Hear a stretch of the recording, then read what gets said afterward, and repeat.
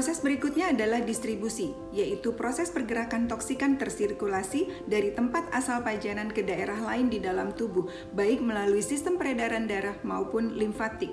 Pada gambar berikut ini, proses distribusi direpresentasikan dari garis biru. Distribusi toksikan setelah proses absorpsi, toksikan terdistribusi melalui sistem peredaran darah maupun limfatik menuju jaringan di dalam tubuh. Proses pergerakan ini mengikuti mekanisme transportasi toksikan melewati membran sel. Toksikan yang mudah larut dalam lemak ditemukan lebih banyak di dalam lemak. Toksikan yang mudah larut dalam air akan terdapat lebih banyak di dalam darah.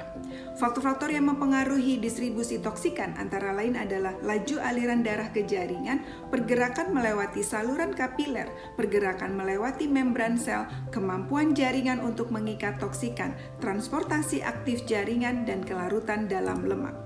Penyimpanan toksikan ada di empat lokasi, yaitu pertama protein plasma. Albumin memiliki kemampuan berikatan dengan banyak toksikan. Kedua, hati dan ginjal. Hati dan ginjal memiliki kemampuan untuk berikatan dengan banyak toksikan. Lemak, toksikan yang mudah larut dalam lemak akan terdeposit pada lemak, contohnya pelarut organik. Tulang, contoh toksikan yang terdeposit dalam tulang adalah timbal atau PB dan florida. Toksikan banyak terdapat pada dalam jaringan tertentu bukan berarti toksikan tersebut dapat menyebabkan efek toksik pada jaringan tersebut. Gambar berikut ini menunjukkan ligand interaksi dengan plasma protein yaitu albumin. Selanjutnya yang juga penting adalah terkait dengan blood-brain barrier atau selaput atau lapisan penghalang, penghalang antara darah dan otak. Blood-brain barrier atau BBB adalah selaput pembatas semi permeable yang sangat selektif tersusun dari sel endotelial yang mencegah toksikan masuk ke otak. Akses toksikan ke otak dibatasi oleh blood-brain barrier atau BBB dan juga blood cerebrospinal fluid barrier atau cairan penghalang dari darah ke otak. Video berikut ini menggambarkan bagaimana proses blood barrier terjadi. Video berikut ini merupakan contoh kasus toksikan di industri yang kita kenal sebagai Minamata disease, di mana toksikan yang ada di sini adalah metil merkuri yang merupakan contoh neurotoksikan dan di dalamnya mekanisme blood brain barrier dapat dilalui oleh metil merkuri. Selamat menyaksikan. To keep out foreign invaders, the brain relies on a membrane that lines the brain's blood vessels, known as the blood brain barrier. All blood vessels are lined with endothelial cells. There are gaps to let molecules out of the blood vessel and into other tissues. But the endothelial cells that line the brain's blood vessels are really close together. That means only certain molecules can slip through and get out into the brain tissue. Some molecules, like water and oxygen, can cross the blood vessel's wall and get into the brain, so can some fat-soluble substances like caffeine and alcohol. Other molecules the brain needs, like glucose, can hitch a ride into the brain tissue with the help of certain proteins. But by and large, the blood-brain barrier doesn't let most drugs through, which presents a big problem in medicine. That's made it tricky to find treatments that work well for neurological conditions like Alzheimer's, stroke, and brain cancer.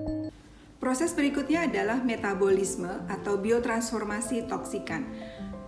Metabolisme adalah proses tubuh merubah atau biotransformasi toksikan menjadi senyawa baru.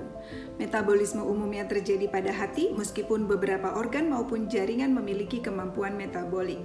Toksikan diubah menjadi larut dalam air guna memudahkan proses ekskresi. Produk metabolisme atau biotransformasi disebut sebagai metabolit.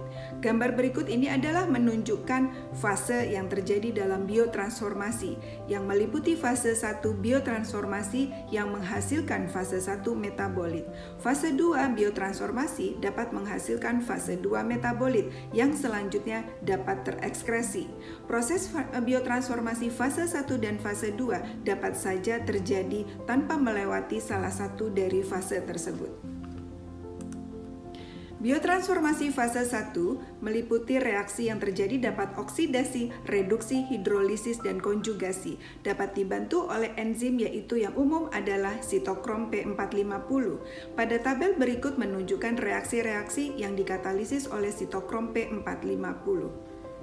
Tabel berikut ini juga menunjukkan biotransformasi fase 1, di mana pada tabel ini menunjukkan biotransformasi jenis reaksi yang terjadi, hidrolisis, reduksi, oksidasi, dan juga konjugasi, enzim-enzim yang terlibat pada reaksi tersebut, dan juga lokasi di mana terjadinya proses biotransformasi tersebut.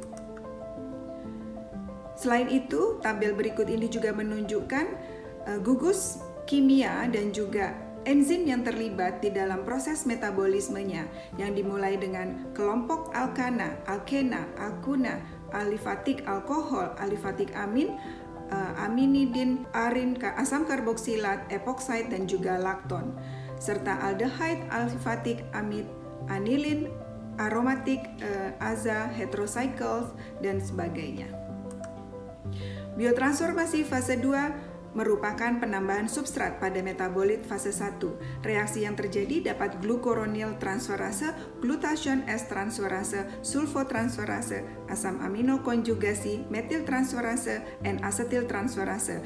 Metabolit menjadi sangat mudah larut dalam air dan dibantu antara lain oleh enzim glutation S transferase.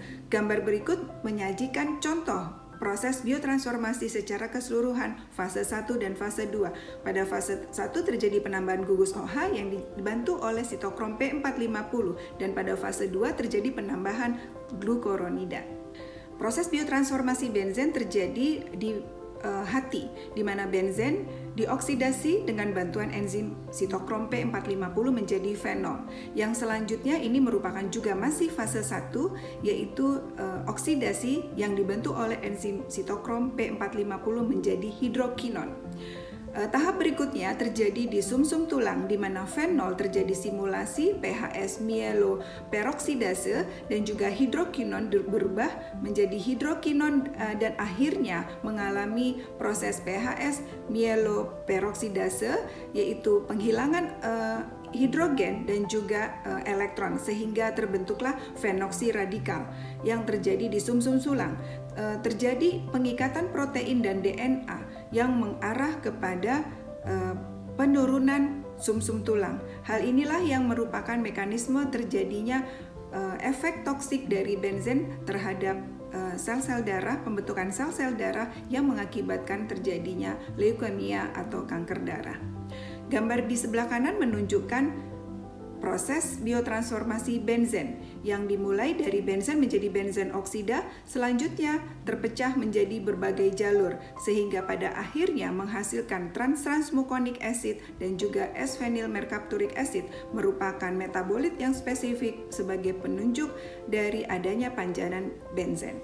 Proses biotransformasi silent disajikan pada gambar berikut yang menghasilkan metil hippuric acid dalam urin sebagai produk metabolitnya dan sampling time adalah N of shift. Proses biotransformasi metanol ditunjukkan pada reaksi berikut. Hal ini dapat menyebabkan kebutaan dan juga kerusakan pada optic nerve karena adanya pembentukan asam formiat dari hasil biotransformasi metanol.